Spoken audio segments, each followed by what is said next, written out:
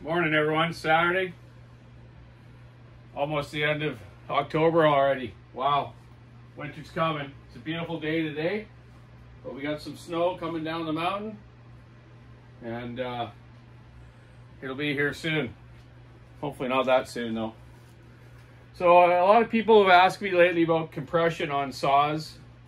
You know, for years, I never did compression tests for years most saws I'd work on, especially if they're older used ones, you know, I pull the muffler off, have a look at the piston. If it's not scored and the rings are still moving, the thing will run.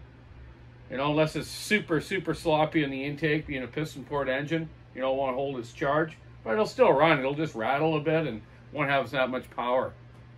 Or some I've had rings wear when guys are slashing in the side of the road with a lot of dust. Uh, and then they use the wrong air filter. They use a nylon one instead of the extreme uh, flock type one, and that'll eat rings up pretty quick. But you know, I might change rings and something like that. But like falling saws and stuff, I never change rings. It's either a whole piston or a jug and slug. They're normally wore right out, or the thing's smashed up or cracked. It's done its tour of duty. You know, I got three saws in the bench here right now. I got a 461 used one of a friend of mine's. It's you know a few years old. A 390 that's probably a couple years old, and I got an old 61 white top, which is as you know, from the 80s, right? Um, so I just did a compression test. I used the Echo compression tester. Let me turn you over this way. Zoom in a little bit. See if I can do that. Come on. There we go. So I use this Echo Shindaiwa compression tester. I have uh, adapters too to do the 10 millimeter um, spark plug holes that are quite common now on, on a lot of equipment. Where is it? Just want to show it to you. Uh, there's one. There we go here. Oh. I got it somewhere.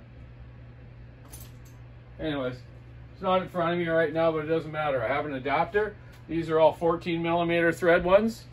And um, I just did these ones. So this 390, you know, it's a couple years old. It's got 140 PSI. This 3 461, which is a few years old, same thing. 140, actually above, 150, sorry. I thought it was 140, it's 150. I wrote it right on there. When I check them, I hold full throttle and I pull it over until this, the needle doesn't move anymore.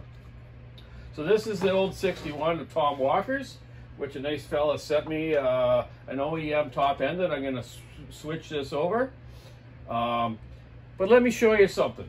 I want to I want to kind of approve a, a fact here. That's really why I never used to use compression testers. I think, but I tried it now with some some equipment at work, like weed eaters and blowers and stuff, where uh, you know they don't. Uh, you kind of need to teach young mechanics how to really uh, check that before they start throwing parts at something that they don't need to because the motor's shot.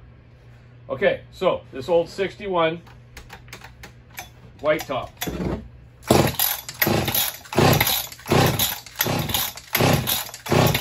Okay, that was plenty enough pulls, eh? Look at that. 170 eight pounds of PSI. So you figure, oh, this motor's got to be great, man, being the age of it, right? You know, 19, I don't know, 1980 maybe? Okay, so let me show you something.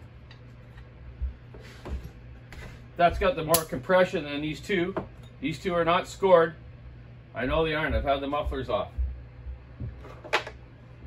Look at this. See if you can see this.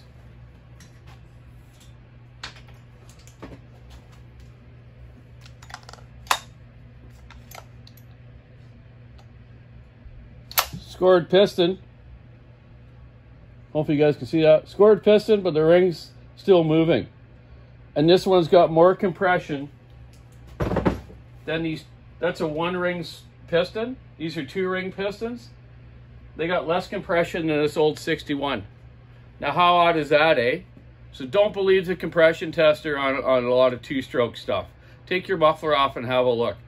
You know, this thing would probably run, but it'll just just die out. It won't have any power, right? And it's just going to start taking the chrome off the cylinder and producing more aluminum uh, shavings, right? So yeah, isn't that something interesting, eh? So there you go. There's your compression test. Uh, most most saws should be, you know, 100 to 150 pounds, if not a little bit more, um, depending on the model and the type of uh, head design it's got, like the squish in it. But anything below 100, they, you know, they're, they're hardly going to probably not run too good. I should say more around 90, actually. I've had some, you know, 90 to 100 that the pistons aren't scored, and they still run. So, there you go, man. You know, it is a good tool for sure for new guys and just everyone else just to understand stuff. But check your motors too, man. This thing was only three bolts to take the muffler off, right? So, I don't know. It's my opinion of it anyways. Take it or leave it. it's a beautiful day, so I'm going to get out. Um, I got some work tomorrow to do. Um, at my daughter's house. I'm going to help her uh, work on her yard a bit, blow some leaves off around. Then I'm going to go to my mom and dad's place and uh, clean their roof off and have a little uh, visit with them as well. And I might stop by and see old Buckin if he's around tomorrow. He lives out by my where my daughter lives, so we'll see how it goes.